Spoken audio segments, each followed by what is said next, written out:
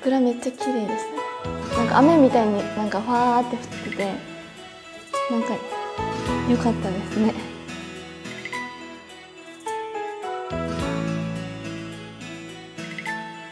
本当名前桜でよかったなって思います。使いやすいいろいろと。え本当になんか良かったなって思う。お母さんに感謝です。まあ鹿児島桜島って名前もあるし自覚もいいし かなって。普通のあのひらがなでもなく植物の桜でも。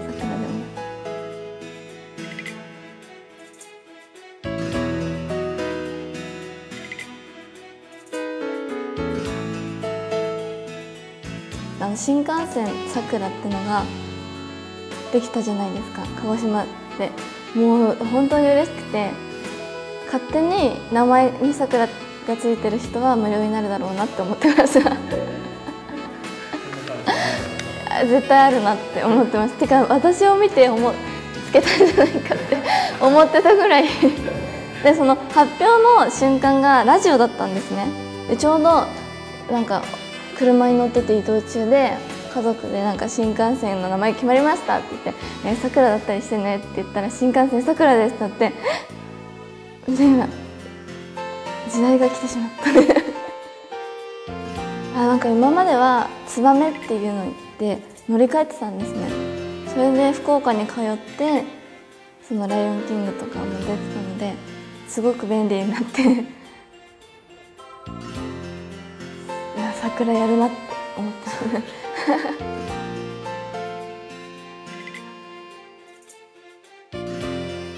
うん。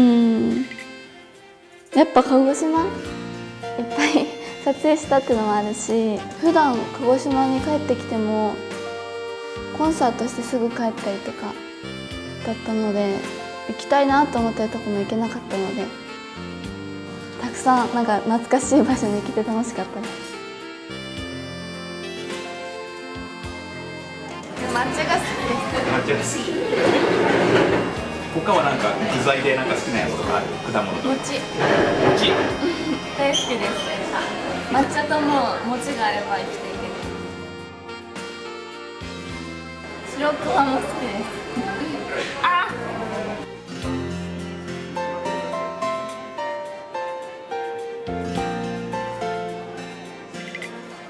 今一番幸せ鹿児島に来てよかったやっぱり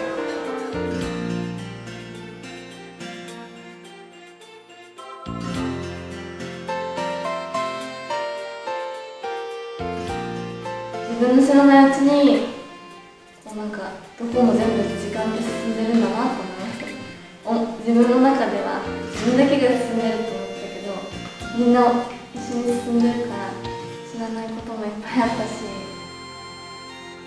ちょっと切なくなりました。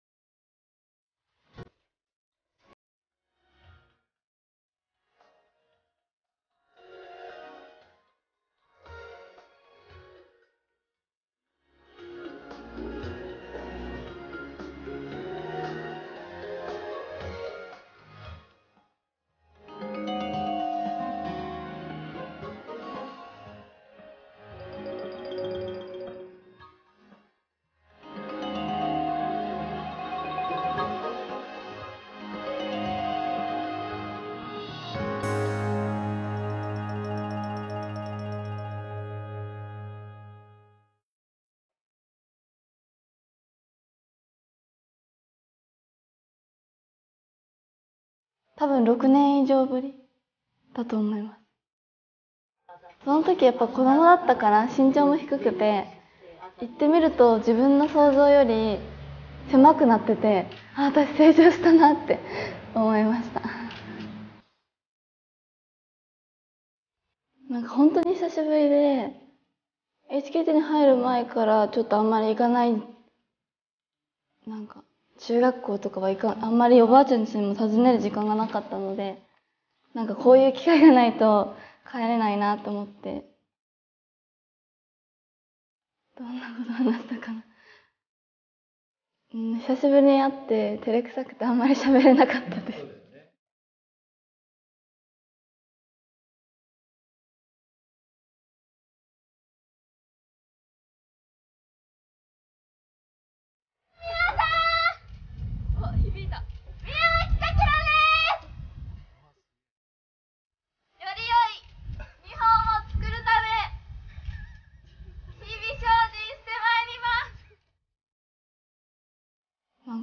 も懐かしかったですね。夏休みとかもう毎日行ってて泊まっててお正月も行っててなんか長い休みがあると必ずおばあちゃん家行ってたのでその時思い出します。森の中に進んだりとかしてます。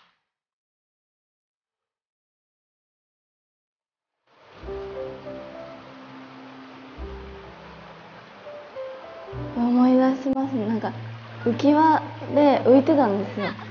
でも今はここまでしかなくてわ自分めっちゃ身長伸びたなって成長したんだなって思いましたね。もっと全体的に広くかん自分のイメージの中であったから今言ったらそんなに大きくなくて成長したなって知らない間に自分も成長してたんだなって思います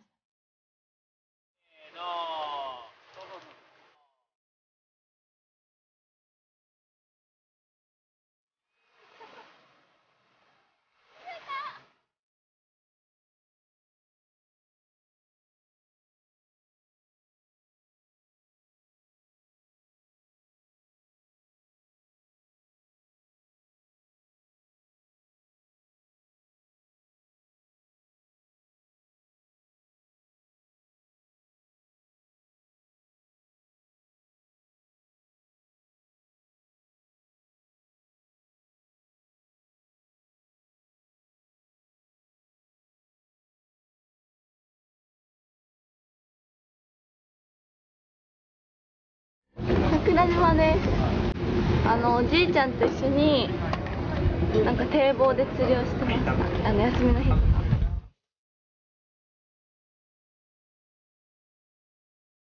今日はどうですか？釣れそうですか？いや頑張ります。なんか結構気まぐれだからすごい釣れる時はすごい釣れるんですけど全然釣れない時は釣れないので今日はどっちかな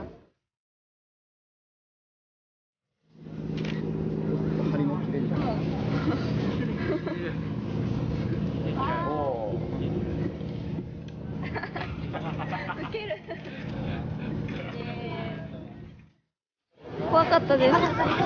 やっぱり大人になると怖くなっちゃって子供の時は何も怖怖さとかなかったからでしたけど。難しいし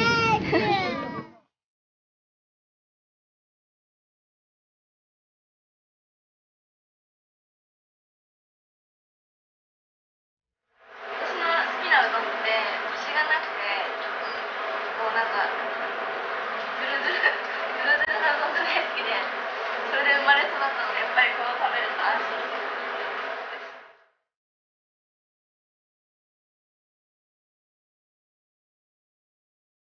桜島にある恐竜公園です。が小さい時に来たので 記憶は全くないです。あと恐竜が怖いです。全然覚えてないですね。うん。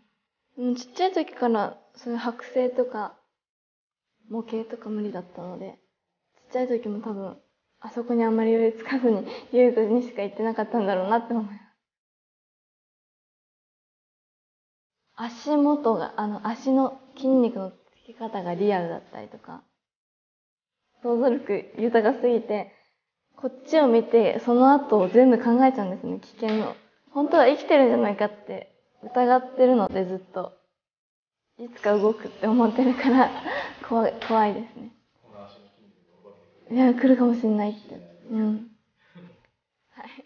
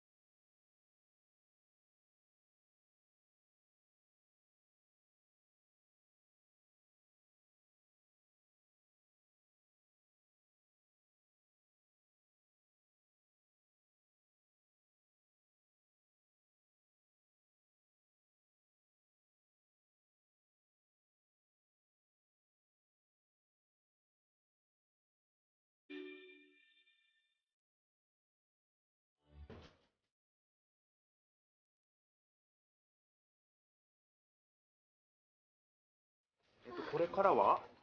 コンサートに行ってきます。ヤング。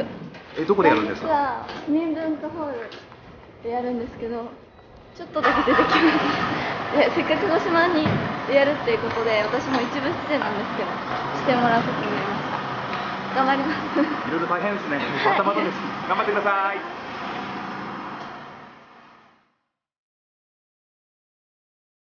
ナンバーワン緊張してました。この撮影中うんやっぱ AKB だからってのもあります。HKT だとサッシもいるし同期もいるし頼れる子もいっぱいいるからなんか楽しくやろうって思えるんですけど鹿児島だし ヤングメンバーなんか AKB だしソロも歌うしちょっとしか出ない中でやらないなんか満足してもらわないといけないと思って緊張します。OK ですとか言ってたけどやばいやばいやばいって思ってます緊張は緊張したままいきます私。別にそのままでいいやって思ってますね。楽屋とのテンションのまま引きずるとあんまりダメかなと思ってるので緊張好きですね。なんかバカ力じゃないけど緊張してる時の方が多分いいもの出してると思う緊張感ないと多分普段の私になっちゃう。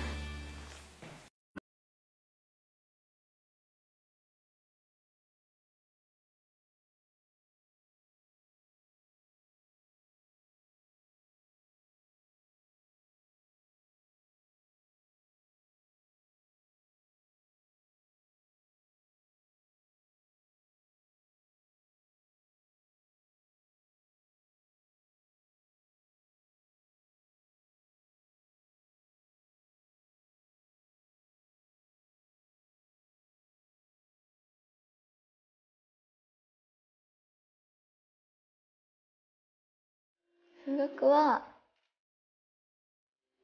あの答えがちゃんとあるからすっきりするしなんかえなんでこれ？って思ってもややり直せば絶対に当てはまるけど社会は覚える覚えるだけの作業が嫌でしたね。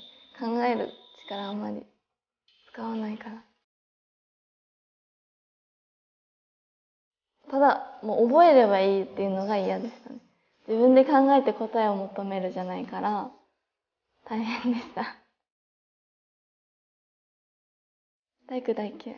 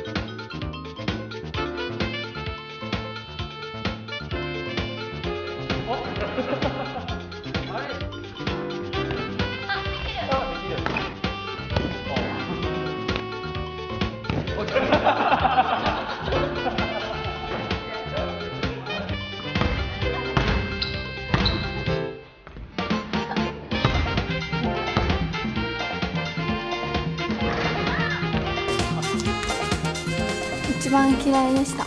一番嫌いだった。ダンスは練習したらできるけど体育は練習してもできません。センスの問題。こ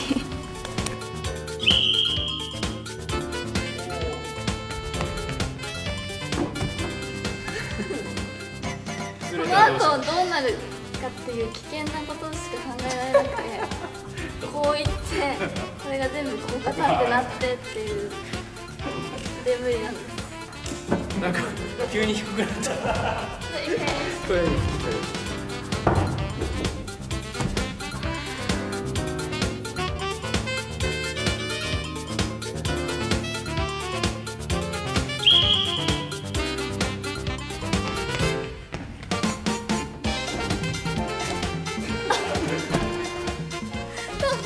一番嫌いなのは跳び箱です一輪車と竹馬もあって大嫌いでした。みんなできるんですよ竹馬とか一輪車とかみんなもう自転車も乗れてたか。らでも私乗れないから自転車も嫌でした。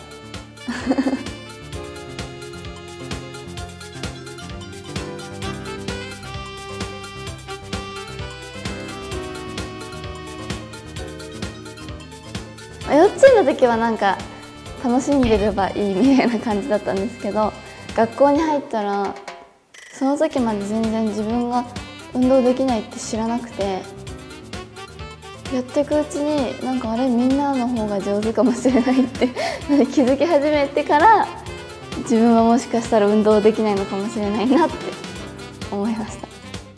よーい。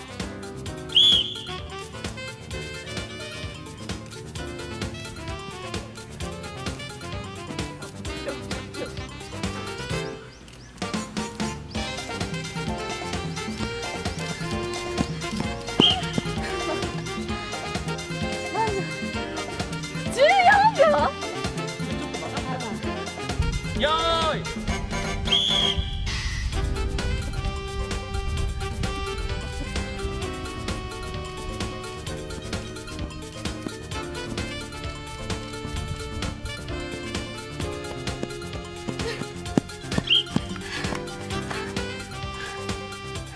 14秒78秒で。す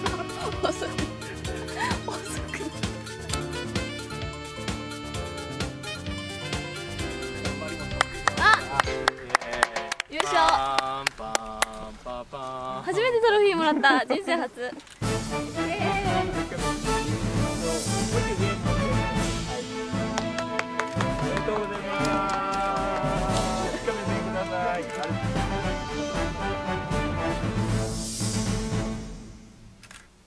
福岡なのでやっぱりいろんな知ってる場所に行って普段の私を見せればなと思います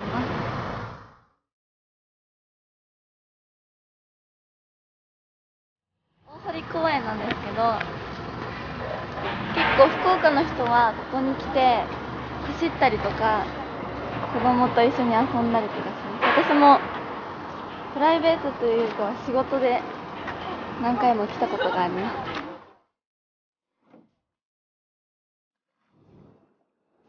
プライベートでは乗ったことないと思います。メンバーと撮影で乗ったりしました。ミオと。多分多分ミオだったと思います漕ぐの大変でした。一瞬漕いだんですけど男の人って大変だなって思います。デートとかあれ喋りながらこうやってなんか意外と大変なことしてるなって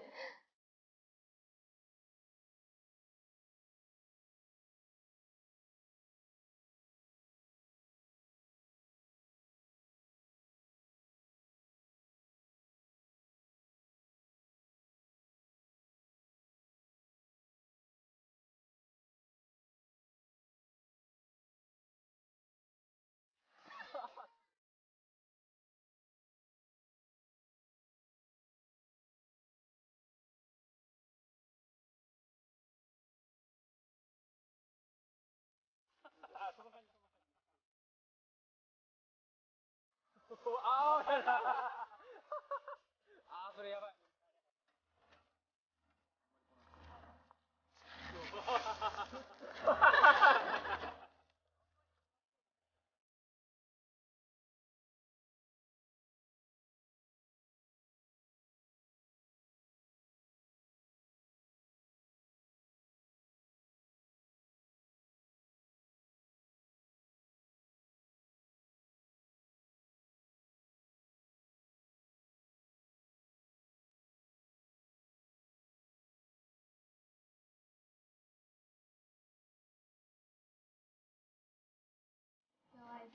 りがとうございました。明日からもよろしくお願いします。乾杯。乾杯。劇場できてなかったですね。手をつなぎながら公演を練習しててで劇場できちゃうってなって入ってまだその時劇場見ちゃダメって言われてそれでレッスン場でわあ広いみたいなここが私たちのレッスン場かみたいになってレッスン場で練習しててなんか2日3日ぐらいした時に劇場見ていいよみたいになられてみんなで走って見に行ってなんかデベソ悪いぞみたいな。なんかそれを知って何このステージみたいな。すごいねみたいな。広いと思って。私たちここで毎日公演するんだって思ってすごいウキウキしました。どうなるんだろうねって言ってましたね。なんか競りが上がったりするのも想像つかなかったし私たちここに立つんだみたいな。すごいねってなってましただから本番までにもっと練習しなきゃだねみたいな。すごい前向きにみんなキャッキャキャッキャしてました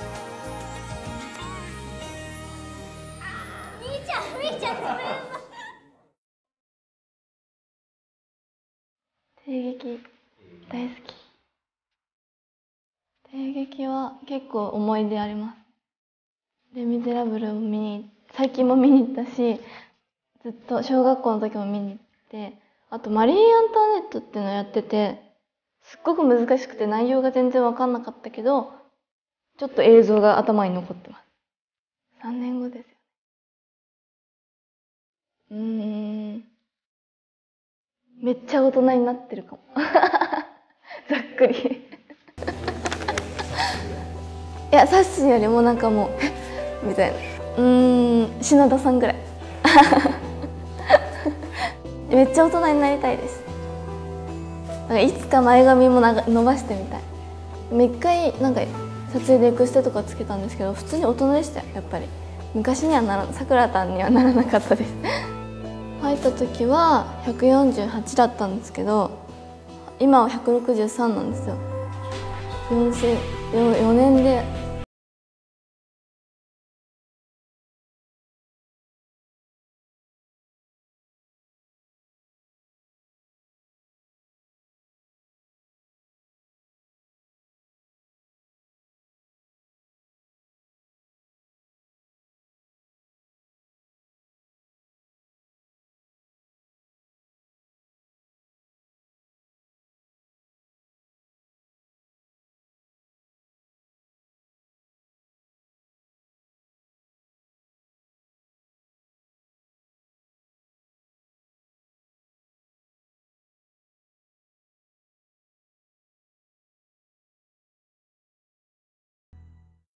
なんか想像つかなかったですね自分が写真集になるのは サッシーと小路春さんのなんか見てサッシーのがすごいなんか普段見てるサッシーと違ってえこんなサッシーもあるんだって思ってそれを見ててすごい楽しくて私もこういうなんか自分のと自分が気づけない自分を見つけたいなって思って写真撮られるのが好きになりました。ね、撮られてるの見たりとかするとなんか自分じゃないみたいですね。こんな笑い方するんだ私。なんか笑ってる時って見えないじゃないですか自分が。唯一好きなのは横顔です。だから横顔撮られてる時はラッキーと思ってます。徐々に見せ方が分かってきて出来上がった本とかを見てあこういう感じで写ればいいんだとか自分の思ってた以上に出来上がりが良かった時とかは、えー、楽しいなって思うようになりました。ねいつもは仕事だからみたいなこうやるけどなんかその普通にしてる時を撮ってくれるから自分的にもすごく楽しくてやりやすかった。やっぱり写真集出せるので普段のグラビアとは違って素の素のっていうあんまり決め込んだ表情をしない等身大の私を見せればなって思ってます。